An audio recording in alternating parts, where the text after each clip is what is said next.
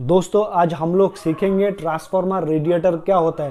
What is transformer radiator electrical transformer में radiator क्या होता है, इसका प्रिंसिपल क्या होता है, इसका इंपॉर्टेंस क्या होता है, आज थोड़ा हम लोग ये जानकारी लेंगे या सीखेंगे दोस्तों। रेडिएटर जो होता है दोस्तों, ये ट्रांसफार्मर में एक वाइटल रोल प्ले करता है दोस्तों। ये एक बहुत ही इंपॉर्टेंट पार्ट होता है ट्रांसफार्मर का दोस्तों, जो रेडिएटर होता है दोस्तों। जब इलेक्ट्रिकल ट्रांसफार्मर ऑनलोड में रहता है दोस्तों, क्या होता है दोस्तों ट्रांसफार्मर के अंदर जो वाइंडिंग रहता है दोस्तों प्राइमरी वाइंडिंग और सेकेंडरी वाइंडिंग इसमें, इसके अंदर दोस्तों करंट फ्लो होता है दोस्तों।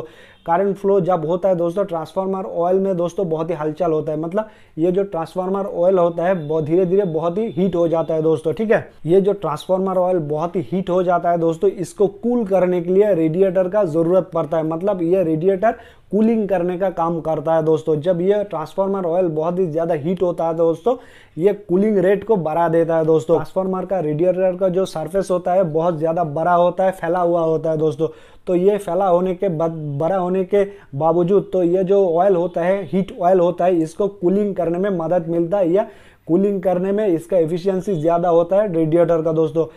तो आज के लिए दोस्तों बस इतने मिलते हैं नेक्स्ट वीडियो में कुछ नया लेके, कुछ नया उम्मीदों के साथ। तब तक के लिए नमस्कार।